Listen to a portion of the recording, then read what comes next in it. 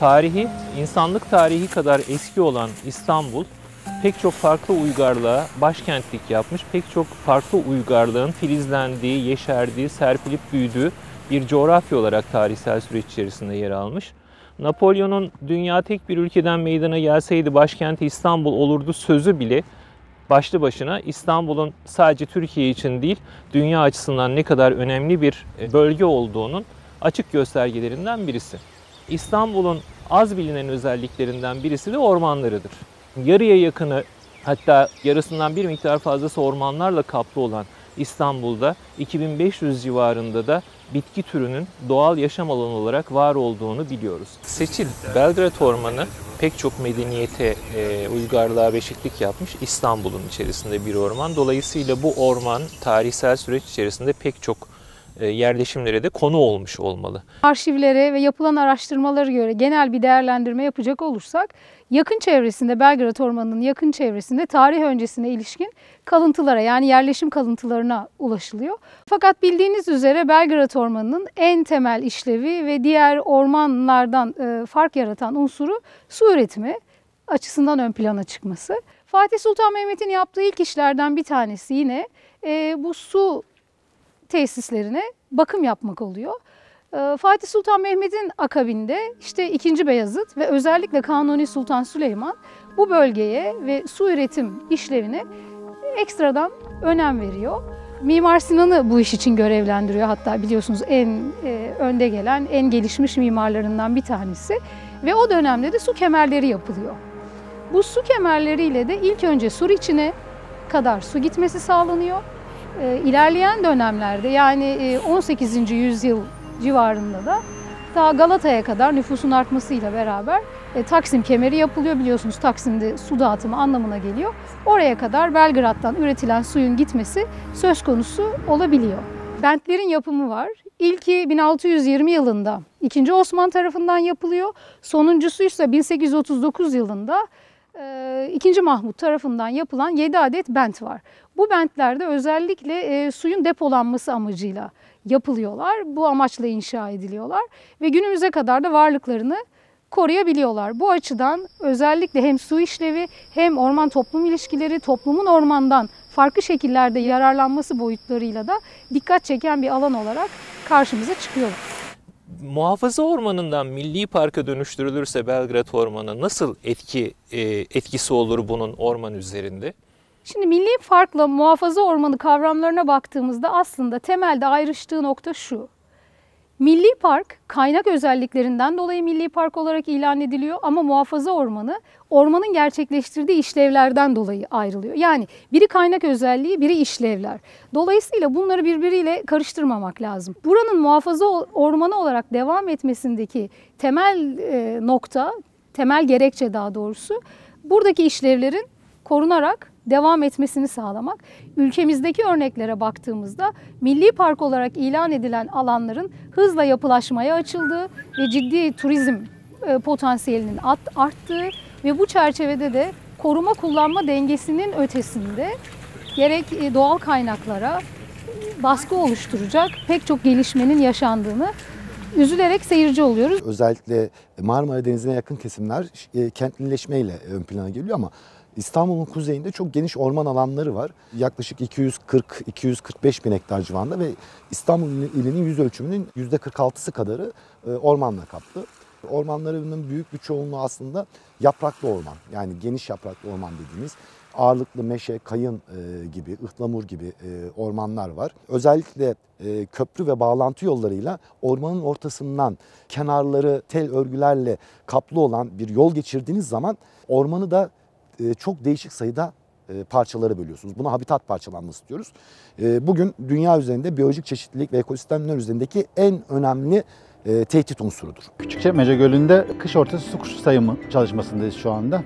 Amacımız Türkiye'deki bütün sulak alanlara gidip oradaki su kuşlarını saymak. Biz de Doğa Koruma Milli Parklar 1. Bölge Müdürlüğü ve İstanbul Üniversitesi Orman Fakültesi Ormancılık Meslek Yüksek Okulu ile beraber bu çalışmaları yapmaktayız. Kuş popülasyonlarında ise aşağı yönlü bir azalma söz konusu maalesef ki. Çünkü habitat kaybı çok fazla. Avcılık fazla olmakta. Ve diğer taraftan insan faktörleri oldukça fazla. Yani kimyasallar bulaşıyor, e, hayvanların besin alanlarına kayboluyor, farklı aktiviteler için kullanılıyor o alanlar. O yüzden de maalesef ki hani çeşitliliği e, insan sayısı beraber artırırken popülasyon maalesef insan sayısıyla beraber düşüyor aşağı doğru. 1800'lerin başlarında dünyada ilk orman okulları açılmaya başlanıyor. Bunlar ilk örnekler Almanya'da ve Fransa'da gerçekleşiyor. Ama Osmanlı İmparatorluğu döneminin sonlarına kadar orman kaynakları doğal kaynak olmaktan daha çok bir odun kaynağı ve gelir kaynağı olarak değerlendiriliyor. 1839 Tanzimat Fermanı'nın ardından ormanlara yönelik bakış açısı bir miktar değişmeye başlıyor. Bir orman müdürlüğü kuruluyor. Bununla birlikte yurt dışından özellikle Fransa'dan o dönem siyasi ilişkilerin güçlü olduğu Fransa'dan e, ormancı uzmanlar getirilerek ülke ormanlarının e, incelenmesi ve planlanması konusunda adımlar atılmaya çalışılıyor. Bu çalışmaların bir halkası olarak da 1857 yılında şu an içinde bulunduğumuz, bugün İstanbul Üniversitesi Orman Fakültesi olarak andığımız o günkü adıyla Orman Mektebi Alisi ya da Orman Yüksekokulu kuruluyor. Bugün bünyesinde 3 farklı e, bölüm barındıran orman mühendisliği ile birlikte orman endüstri mühendisliği ve peyzaj mimarlığı bölümlerini de barındıran Orman Fakültesi 1857 yılına kadar uzanan tarihsel kökleri, farklı akademik kültürlerden alınan birikimi ve bugünkü geniş akademik kadrosu ile geçmişten geleceğe uzanan bir bilim kuruluşu olarak, bir eğitim kuruluşu olarak hem öğrencilerine hem de topluma hizmet vermeye devam ediyor. Herbaryumlar kurutulmuş e, bitki koleksiyonlarıdır. Bilimsel olarak toplanmış, kurutulmuş ve e, toplandığı yere ait bilgileri kayıt altına alınmış olan bitkilerin sistematik bir düzen içerisinde biriktirildiği ve saklandığı bitki koleksiyonlarıdır. İsto Herbaryumu 1950 yılında kuruldu. Herbarium Tursicum adıyla. 1956 yılında da uluslararası herbaryumlar arasına girerek ISTO kısaltmasını aldı. Orman Fakültesi Herbaryumu. Burada yaklaşık 40 bine yakın örneğimiz var. Bu örneklerden çoğu odunsu bitki taksonlarını içeriyor. E, odunsu bitki anlamında çalışan sistematikçilere mutlaka uğrak yeri. Atatürk Arboretumu İstanbul'un en güzel doğa parçalarından birisi Sarıyer ilçesi sınırları içerisinde. Kuruluşu 1949 yılına kadar dayanan e, Türkiye'nin ilk arboretumu Atatürk Arboretumu.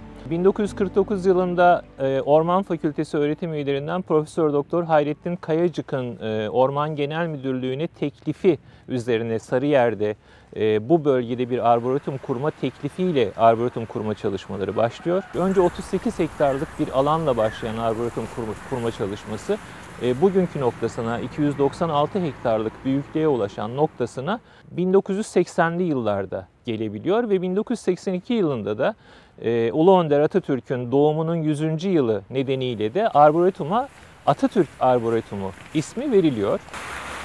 Arboretumlar tıpkı herbaryumlar ya da botanik bahçeleri ya da bitki müzeleri, ağaç müzeleri gibi temel amaç olarak eğitim, araştırma ve öğretime odaklanan tesislerdir. Yaklaşık 2500 bitki çeşidi var İstanbul'da. Tür, alt tür, varyete şeklinde gruplandırabileceğimiz 2500 çeşit var ve bu çeşitlerin de yaklaşık 140 tanesi odunsu bitki, geri kalanı otsu bitki ve bunların tamamı doğal. İstanbul için doğal. Ve bu doğal bitki içer e, çeşitliliği içerisinde de yaklaşık 58 tanesi endemik diye adlandırdığımız gruba giriyor. İkliminin ılıman olması, özellikle e, değişik iklimlerin geçişinde olması, örneğin küresel iklimin e, soğuduğu dönemlerde işte soğuk buzul çağlarında kuzeyden güneye doğru bir bitki hareketinden söz ediyoruz. Tam tersi dönemlerde de güneyden kuzeye doğru bir hareket söz konusu ve bu hareket esnasında İstanbul'un ılıman olması buradan geçen bitkilerin de burada kalmasını sağlamış. Polonezköy ve çevresinin doğal özellikleri de kayda değer üstün e, nitelikler gösteriyor. İyi korunmuş ormanlar var e, Polonezköy'ün etrafında. E, bu ormanlar İstanbul ormanlarının genel karakteristiğini gösteriyor. Yapraklı ormanlar, daha çok Karadeniz bölgesi ormanlarını andıran. Yaban hayatı, zengin flora ve fauna yine Polonezköy civarındaki ormanlarda çok belirgin özellikler olduğu için 1994 yılında yaklaşık e, Polonezköy'ün e, köy merkezini de içinde barındıran yaklaşık 3000 hektarlık bir orman alanı e, tabiat parkı olarak ilan ediliyor. Kısaca Polonezköy tarihiyle, kültürüyle, doğasıyla İstanbul'un en gezilecek, görülecek önemli noktalarından biri olarak karşımıza çıkıyor.